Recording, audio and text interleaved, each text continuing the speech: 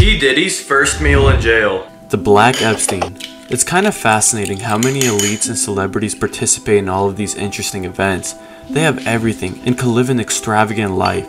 But no, for some reason they get bored and drawn into evil. Anyways, my boy Diddy is gonna have a great time in jail. Comment down below who you want to see next and I hope you enjoy the video. Also, the noodles and meatballs, not good. But as intended, it's prison food. I don't think he liked it either.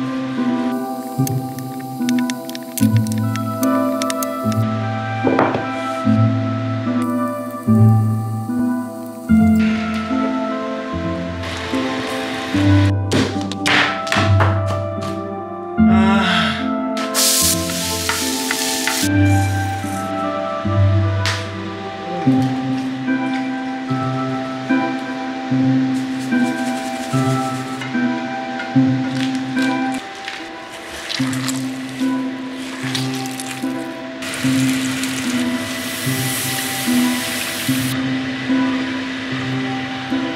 mm -hmm. you.